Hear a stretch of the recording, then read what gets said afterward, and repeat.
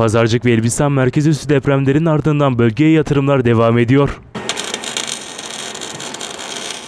Elbistan iş adamı Tamer Pişkin tarafından 1997 yılında İstanbul'da kurulan metal ve çelik konstrüksiyon sektörünün öncü isimlerinden Pişkin Çelik, bu tecrübesini Elbistan Organize ve Sanayi Bölgesi'ne de taşıyarak üretimini başlattı.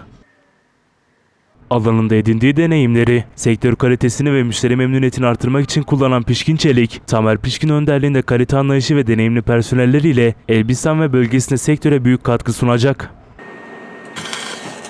Tamer Pişkin Aksu yaptığı açıklamada Kahramanmaraş depremlerinin ardından memleketimize gelip şehrimiz için elimizden geleni yapmaya çalışıyoruz dedi. Öncelikle memleketimizi ayağa kaldırmamız için hepimiz e, çalışmamız lazım.